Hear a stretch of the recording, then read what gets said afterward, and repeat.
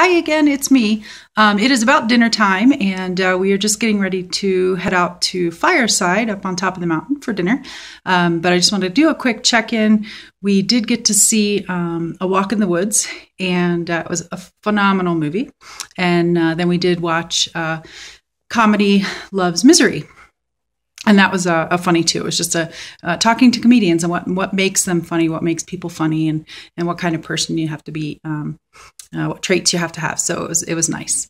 Uh, off to dinner, and then after dinner, I'll be attending a shorts screening. So it'll be an hour and a half of shorts. So I'm excited to see what I see. Um, and uh, hopefully meet some filmmakers and invite them to the Ballston Spa Film Festival and uh, to submit their films. So stay tuned. Um, there'll be more later.